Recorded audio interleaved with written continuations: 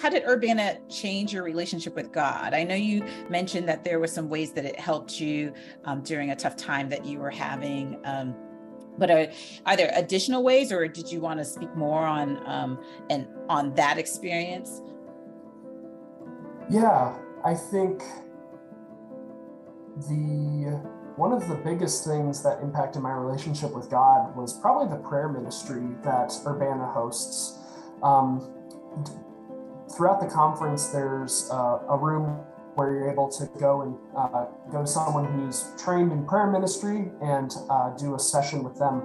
And that was really impactful experiencing God in that way of um, through through praying with someone else who um, is yeah, has been trained in helping you uh, connect with God through the Holy Spirit, helping guide you through talking with God.